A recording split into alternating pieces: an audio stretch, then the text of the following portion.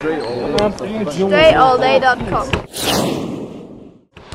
Here I'm using just a quick ball handling move. I'm going to go through my legs quickly, then I'm going to go into an in and out cross move. So as soon as that ball comes up to my left hand, out of that through the legs dribble, I'm not giving any hesitation, not taking any time to wait.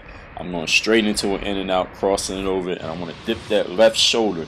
Since the person that would be guarding me here, this is a one-on-one -on -one situation, the person guarding me is going to be on my left side as I drive to my right. So I'm going to dip the left shoulder towards their hip to get past them on the drive and then finish in whatever way necessary. Hit that thumbs up to like this drill. Work on your game, Dre, all day.